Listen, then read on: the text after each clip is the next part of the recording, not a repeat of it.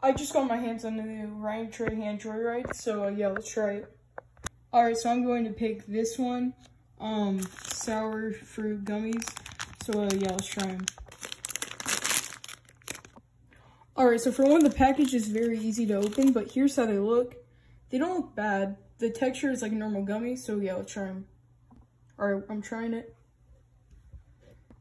All right, not bad. They're sour, but they're a little grainy, like the sugar or whatever is on them. But pretty good. I give it that about a 7 out of 10. So yeah, let's get to the next one. Alright, so we got the free gummies or whatever. Um, they look like normal gummy bears. They look pretty good. So they're pretty small, as you can see. But yeah, let's try them. Alright, so it's not bad. It just tastes like it has a lot of corn syrup in it. Um, I'd probably give that about a 5 out of 10. It's mid. Um, but yeah, let's try this one now. So uh, yeah. Alright guys, here's how they look. Not bad, honestly. Um, it's, all it looks like is a normal, like, uh, sour, uh, gummy orb, sorry. Um, but yeah, it's not, it doesn't look bad, but uh, yeah, I guess I'm gonna try it.